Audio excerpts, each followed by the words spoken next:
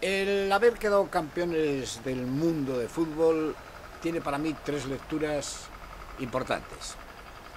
Primera lectura que quiero hacer es que frente a los separatistas que tienen tanto eco mediático y que a veces parece que este país es un país que no tiene conciencia de pertenencia a España, que no se siente orgullosa la gente de ser española y que colaboran en ello algunos políticos, esto ha sido una espontánea declaración del pueblo español de, identidad con, su país y que ha puesto de manifiesto que una inmensa mayoría de los ciudadanos que vivimos en esta querida España nos sentimos orgullosos de ser españoles. Yo creo que esto ha sido una primera lección de la que deben de tomar nota algunos políticos melífulos que tenemos en España.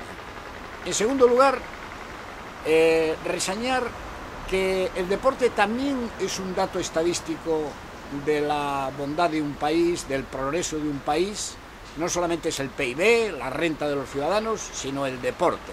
Deporte con mayúsculas todos los deportes en los que España eh, participa, hoy España está en, el primer lugar, es una gran potencia. Y ello indica que en los últimos 40 años pues hemos pasado de alguna figura esporádica que salía tipo Santana, tipo Ballesteros, tipo Nieto, a que ahora sea normal que ganemos en cantidad de deportes, que seamos casi en Europa élite absoluta y esto es como consecuencia de tres cosas. De que el pueblo español ahora se alimenta bien, que tenemos una juventud que ha crecido nada menos que 10 centímetros la talla media de los españoles en los últimos 30 años, que tenemos una buena sanidad, que tenemos buenas instalaciones deportivas donde nuestros jóvenes hacen deporte.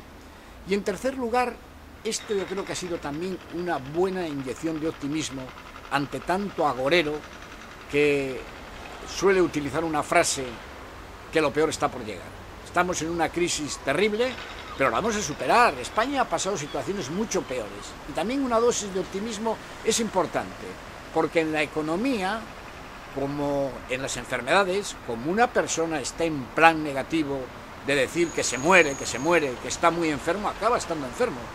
Yo creo que vamos a salir de esta crisis y una inyección de optimismo como la que nos ha dado la selección española nos viene muy bien en estos momentos.